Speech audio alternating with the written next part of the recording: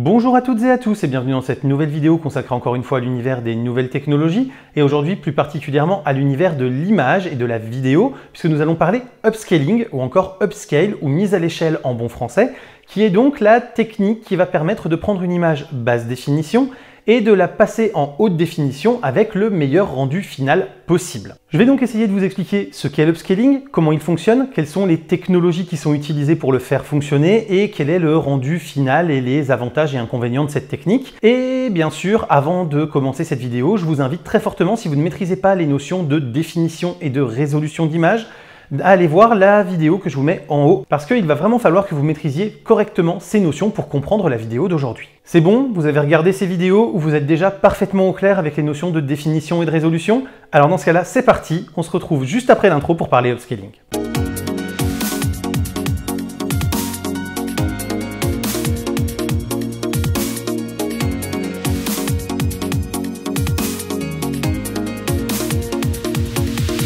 Je profite de cette vidéo pour remercier Antonio qui me soutient sur euh, Tipeee. Donc merci beaucoup Antonio pour euh, la reconnaissance que tu portes à mon travail. Ça me touche vraiment et je tenais donc à te le dire en live directement en vidéo. Alors commençons par définir ce qu'est l'upscaling. L'upscaling, c'est le procédé qui va permettre de prendre une image en basse définition et de recréer ensuite par divers moyens tous les pixels manquants pour pouvoir l'afficher sur un écran de plus grande définition, de manière à ce que chaque pixel de l'image corresponde à un pixel de l'écran. Prenons un exemple avec une euh, superbe illustration en mode CPCE1 comme j'en ai l'habitude. On a ici une image qui à la base fait 576p au ratio 16 neuvième.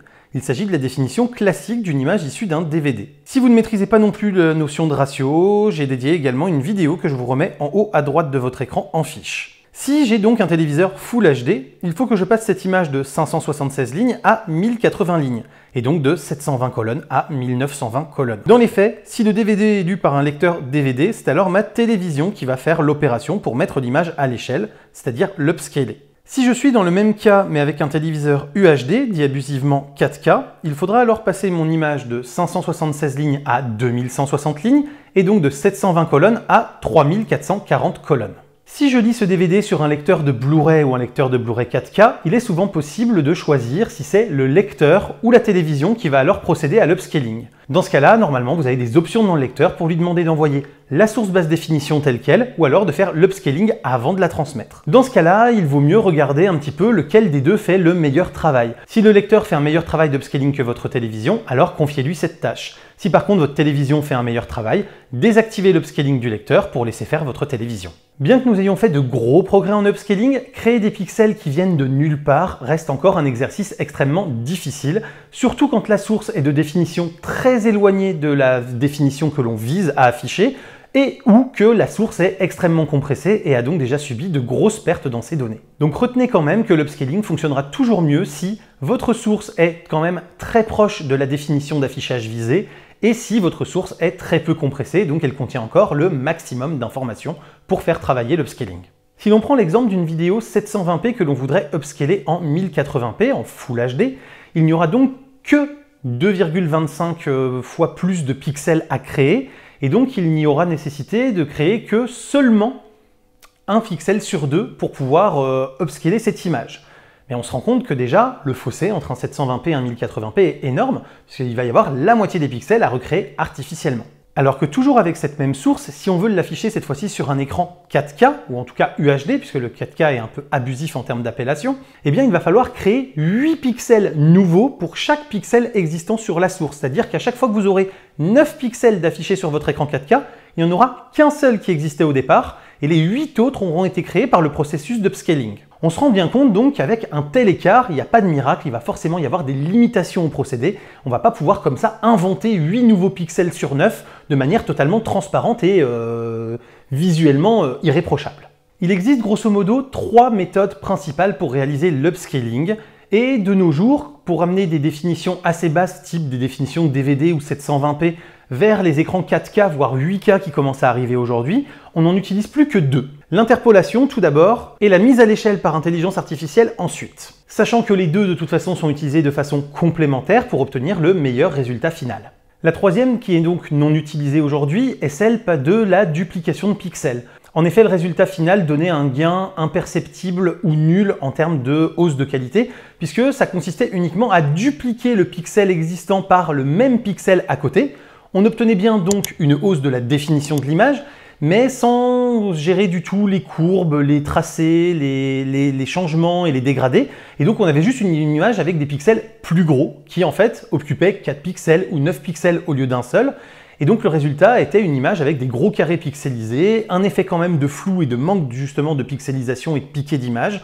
Et donc ça a été complètement abandonné parce que le résultat était absolument euh, inutilisable et n'apportait absolument rien visuellement au spectateur.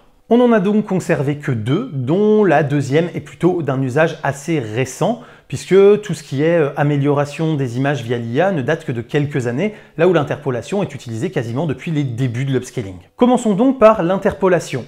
Pour faire simple, l'interpolation, c'est uniquement une façon de faire une moyenne pour le nouveau pixel créé par rapport au pixel existant qui l'entoure dans l'image finale.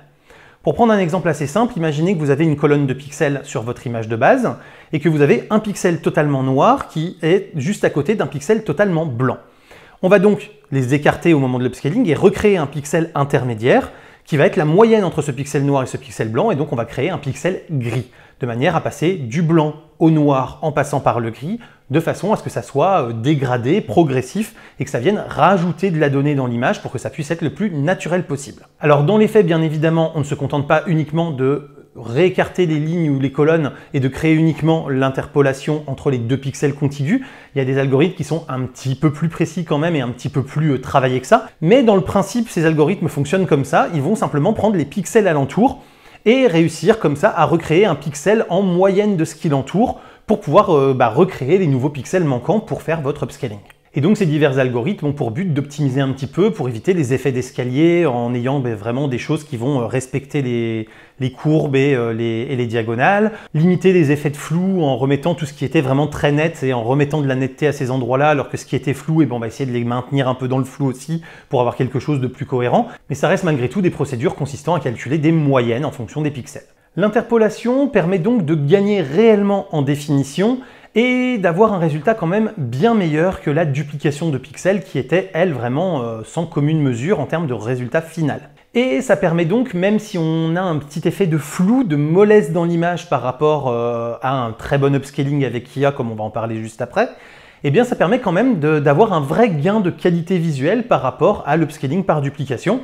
On va donc se retrouver tout de suite dans Photoshop pour pouvoir voir un petit peu comment fonctionne cette interpolation lorsqu'on upscale une image et voir un petit peu donc le résultat entre une image dont les pixels sont très nets et le résultat avec cet effet de flou sur les bordures quand on a fini l'upscale de notre image. Donc pour vous montrer un petit peu ce que c'est que l'interpolation, ce que j'ai fait, c'est que j'ai créé un fichier dans Photoshop qui fait 32 pixels de côté, qu'on va ensuite upscaler à 128 pixels de côté. Donc déjà, on va afficher les repères pour pouvoir bien se centrer, parce que là on est vraiment euh, au pixel près. Hein. Pour afficher les repères, hein, vous faites euh, CTRL plus 2 points normalement si vous n'avez pas changé les raccourcis, et après vous pouvez euh, tirer de nouveaux repères comme ça directement depuis, depuis la, règle. Si vous n'avez pas les règles, vous pouvez aller les chercher ici dans Affichage, Règles, ou avec le raccourci CTRL plus R comme règle. Ensuite on va donc tracer comme ça ici Tac, comme ça on va faire un losange. Le but étant qu'il y ait vraiment des diagonales. Parce que si c'est quelque chose qui est trop euh, aligné avec les, lignes et les colonnes de pixels de la, définition, c'est très facile de faire un upscale en fait, puisque c'est droit. Alors que là, ce qu'on veut voir, c'est comment bah, cet effet d'escalier là va être repris pour ne pas être des gros escaliers quand on va faire x4 euh, sur la définition. Donc ensuite, ici quand on va dans Image,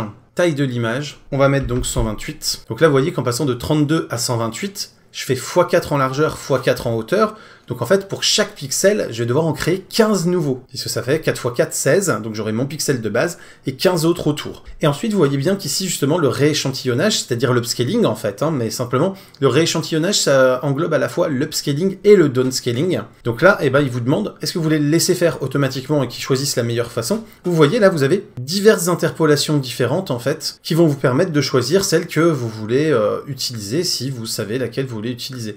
Par exemple, là, il vous précise bien que ceux-là sont plutôt pour les agrandissements, celui-là est plutôt pour la réduction, et donc en fonction de ce qu'on veut faire, bah déjà lui il va aller piocher plutôt dans ceux qui sont pour les agrandissements plutôt que pour les réductions, puisque là nous on veut agrandir notre image. On va le laisser en automatique, le but c'est juste de vous montrer ce que c'est qu'une interpolation, et donc si je fais OK ici, je dézoome bien sûr pour revenir sur une vision globale, et donc voilà, vous voyez, si je zoome sur mon effet d'escalier, vous voyez que j'ai bien toujours mon effet d'escalier, mais avec ces effets dégradés comme ça ici. Qui fait qu'au final, je peux avoir un effet un peu de flou sur ma bordure, mais par contre ça m'évite d'avoir un effet de pixelisation de ma bordure. Alors que si en fait, vous voyez, je reprends mon image de base en 32 pixels et que dans image, taille de l'image ici, quand je fais mon upscaling en 128 par 128, je lui dis au plus proche pour que les contours soient nets. Là, il ne va pas faire d'interpolation, donc on se retrouve effectivement avec des contours beaucoup plus nets, vous voyez, mais donc aussi un effet de pixelisation, puisque là c'est la fameuse façon de faire que je vous ai dit qu'on n'utilisait plus, puisqu'en fait il a simplement dupliqué les pixels sur les côtés. Vous voyez qu'il n'a fait aucune interpolation, aucune moyenne, aucun euh, lissage, aucune... Euh, voilà.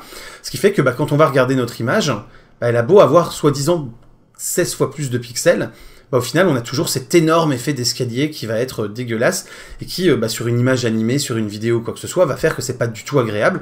D'où le fait qu'on utilise plutôt l'interpolation, parce que même si ça donne un petit effet de flou, et bah, ça évite cet effet pixelisé. Et une image un peu floue ou un peu molle sera toujours beaucoup plus agréable à l'œil qu'une image avec ces effets de gros carrés, de gros pixels qui, euh, eux, vont vraiment sauter à l'œil et être ultra désagréables à regarder. Deuxième procédure qui est utilisée aujourd'hui de concert avec la procédure d'interpolation, c'est la procédure qui se base sur des intelligences artificielles. Alors vous le savez, pour ceux qui suivent la chaîne, j'aime pas trop cette appellation d'intelligence artificielle, mais disons que ce sont donc des algorithmes auto-adaptatifs, auto-apprenants, à qui on a balancé des milliards d'images. Et en fait, ce qu'on a fait, c'est qu'on a pris des images en 4K ou en 8K, on les a downscalées ce coup-là, c'est-à-dire qu'on leur a retiré des pixels pour les mettre en basse définition, et on a donné à l'algorithme l'image en basse définition l'image qui avait été tournée nativement en haute définition, qui est donc le résultat à atteindre, et on lui a demandé d'apprendre comment corriger l'image en basse définition pour arriver au plus proche de l'image haute définition. Ce type de principe fait que l'algorithme a mangé énormément d'images et de contextes différents pour savoir comment travailler. Il ne va donc pas travailler de la même manière en fonction de s'il a devant lui un visage, un animal, une image plutôt fixe ou une image avec beaucoup de mouvement, une explosion, de fort contraste ou non, des dessins, des illustrations, du paysage, etc. L'algorithme a vraiment appris à traiter chaque situation de manière différenciée pour obtenir le meilleur résultat final et revenir au plus proche de l'image source. Les algorithmes les plus récents sont même capables d'analyser une image par zone, de manière à ne pas appliquer le même effet sur la partie où il détecte un visage, la partie où il détecte par exemple des bâtiments en arrière-plan, la partie où il détecte de la verdure de l'autre côté en arrière-plan, etc. On va le voir par exemple avec cet exemple de présentation du processeur avec IA intégré de LG pour l'upscaling et le traitement des images dans ses téléviseurs. Et donc, à l'aide de ces algorithmes différenciés, on obtient donc de très bons résultats quand bien sûr les algorithmes sont bons. Mais aujourd'hui, les gros constructeurs mainstream sont très bons sur le sujet. Et d'ailleurs, tout ce qui est algorithme et IA de travail de l'image sont des chasses extrêmement gardées et des choses extrêmement protégées parce que bah, ça a coûté très très cher d'entraîner ces algorithmes pour qu'ils soient aussi efficaces. Et donc aujourd'hui, chaque constructeur ou presque, ou chaque fournisseur de solutions ou presque a son propre algorithme qu'il a entraîné lui-même avec ses propres images, ses propres euh, paramètres après euh, pour jouer à la marge. Et donc euh, c'est vraiment quelque chose qui technologiquement est extrêmement protégé parce que ça peut faire une vraie différence avec le voisin d'à côté pour vendre son produit et que le, consommateur achète notre produit plutôt que celui du copain d'à côté. Petite parenthèse, c'est d'ailleurs ce système d'IA qui est utilisé aussi par Nvidia avec son DLSS où en fait ils l'ont entraîné à avoir des images rendues en 1080p ou en 2K au niveau des calculs de la carte graphique pour qu'elle n'ait pas à calculer des images en 4K native et ensuite, eh ben, une fois que euh, ce rendu est fait, eh bien, c'est une IA ou donc un algorithme auto-apprenant qui va ensuite upscaler l'image en 4K et donc ça consomme beaucoup beaucoup moins de ressources que de calculer directement l'ensemble des pixels d'une image 4K pour des rendus qui, en plus sur du jeu vidéo où les images sont quand même euh, beaucoup plus euh, structurées et beaucoup plus précises qu'une image classique filmée, eh ben, ça donne d'excellents résultats. Et parfois on a même avec du DLSS des résultats beaucoup plus propres et beaucoup plus précis et beaucoup plus piqués qu'avec un calcul en 4K natif, ce qui est assez dingue. Et donc, au-delà de ce jeu vidéo, même si on peine encore à upscaler correctement des sources natives qui sont de très basse définition, type DVD ou 720p, mener aujourd'hui une source 1080p en 4K ou une source 4K en 8K par exemple, se fait extrêmement bien et on obtient des résultats qui sont extrêmement proches d'une captation 4K ou 8K native, ce qui peut permettre, avec des sources quand même relativement récentes et de relativement bonne qualité, assez peu compressées, et bien d'obtenir finalement un résultat euh, excellent qui permet de largement profiter de son téléviseur, même si les sources euh, à la définition native ne sont pas encore totalement présentes. Vous l'aurez compris, c'est une technologie qui est relativement récente, même si ça fait très longtemps qu'on fait de l'upscale. Pour tout ce qui est IA, etc., ça euh, c'est arrivé depuis seulement quelques années, et surtout c'est une technologie qui est en constante évolution. On se retrouve donc avec des gros progrès qui sont faits depuis ces dernières années sur le sujet et j'espère que ça va encore continuer parce que c'est une nécessité avec l'augmentation des tailles d'écran et des définitions de pouvoir continuer de profiter d'anciens contenus sans qu'ils ne soient trop dégradés et trop désagréables à regarder. Ce progrès s'accompagne bien évidemment d'une nécessité de quantité de calcul de plus en plus importante et donc elle est aussi permise par l'augmentation de la puissance de calcul des processeurs embarqués qui permettent de faire beaucoup plus d'opérations par seconde et donc d'appliquer des algorithmes beaucoup plus complexes pour réussir à avoir des résultats plus fins et plus pertinents. Nous voilà donc arrivés à la fin de cette vidéo concernant l'upscaling. J'espère qu'elle vous a plu, qu'elle vous a appris des choses. Si c'est le cas, pensez au clap, le commentaire, le like, l'abonnement et le partage. Pensez aussi au Tipeee ou au Utip pour me soutenir financièrement, ça fait toujours plaisir. Et quant à moi, je vous dis à très bientôt pour plein de prochaines vidéos photos, techno, informatique et jeux vidéo qui font le contenu de la chaîne au quotidien. D'ici là, continuez de rester curieux et de regarder des vidéos sur YouTube. Salut à tous Bye bye